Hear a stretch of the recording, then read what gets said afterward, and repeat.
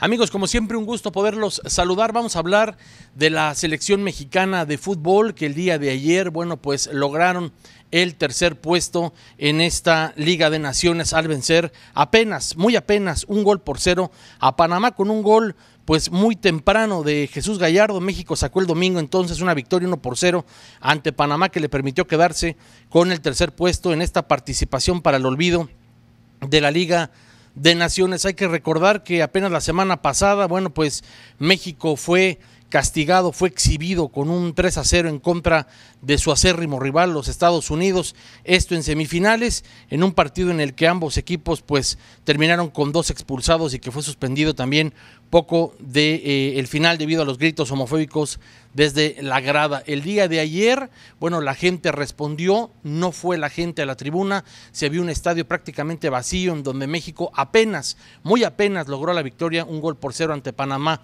Por ahí se sabe que los jugadores de México están amagando de bajarse del barco para no participar. Esto en la Copa Oro que arranca el próximo domingo con su participación en contra de Honduras. Así es que veremos eh, qué va a pasar también el 29 de junio cuando México esté jugando aquí en Arizona ante Haití, si va a haber respuesta de la gente o no, si vamos a ver un estadio lleno o no. Lo cierto es que México va de mal en peor, la gente también tiene poca memoria después de la participación de la Copa del Mundo de Qatar 2022 y por supuesto nosotros le estaremos dando seguimiento al accionar de la selección mexicana. Gracias por seguirnos también en nuestras redes sociales y gracias también por seguirnos en nuestra página en internet, 12news.com diagonal español con toda, pero toda la información de la comunidad de los deportes y mucho más. Nos reencontramos la próxima aquí a través de 12 News Deportes.